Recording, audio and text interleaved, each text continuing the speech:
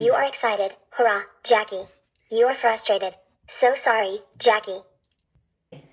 Jackie Gerstein here, and this is just a quick tutorial how to use the PictoBlock software, which is like Scratch, plus the Google's Teaching Machine, which is a form, a subcategory of artificial intelligence, and the microbit microcontroller to create a micro an interactive micropal. So there's several steps you need to do to create this project. The first, uh, the Stempedia's PictoBlox needs to be downloaded, and here's the page that you would do it. You could just Google um, download PictoBlox. Connect the microbit to the PictoBlox program. You need to go through a couple steps and these steps are somewhat similar to what you would do to connect the microbit to Scratch. In fact, this first step is the same thing you would do to, with Scratch.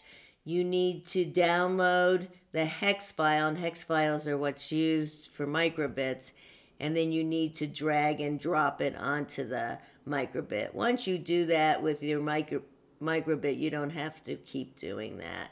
It's on that microbit. The second thing you need to do is download this PictoBlox link. You could see in the description that it connects to a lot of these physical computing microcontrollers, including Microbit. Next, they have a great tutorial, the Stempedia team, on how to um, identify a mask versus non mask using machine learning and you can see it's pretty good at step by step. Here's a link to the teaching machine if I could get that away. And instead of doing getting the teaching machine to recognize a mask versus not having a mask, you can do it doing using um, different emotions. So I used excited and frustrated for my teaching machine. So here's the PictoBlox program that's been open. As you can see, it looks a lot like Scratch, and hopefully you know Scratch because it's going to make do it using this project, making this project a lot easier. There's several extensions and boards you need to access, connect in order to make this project. So the extensions both for PictoBlox and Scratch are in the bottom left corner. And the first one you're going to use is machine learning.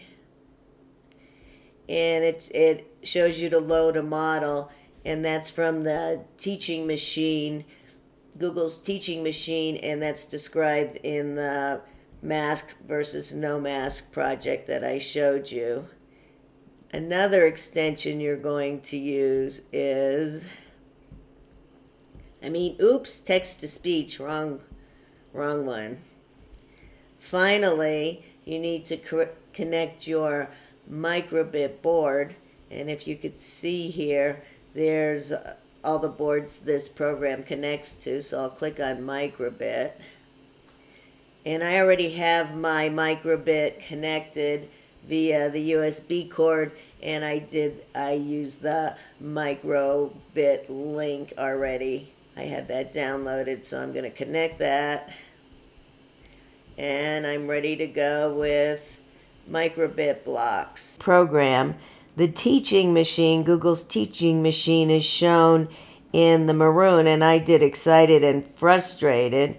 And then you'll also see the text to speech blocks in the green. I'll show you how this works first.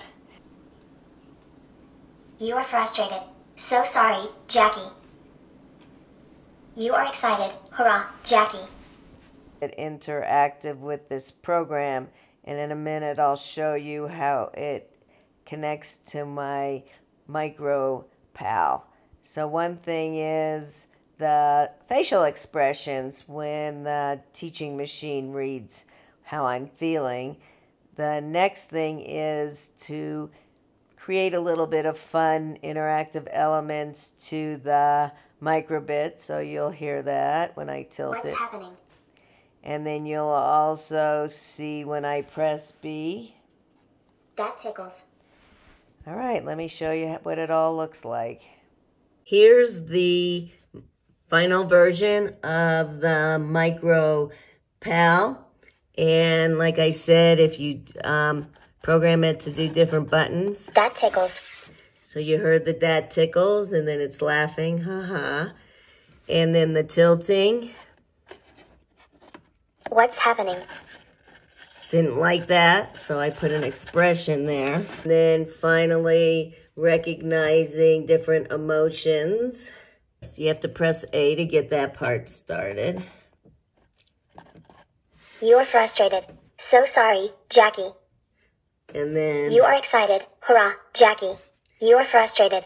So sorry, Jackie.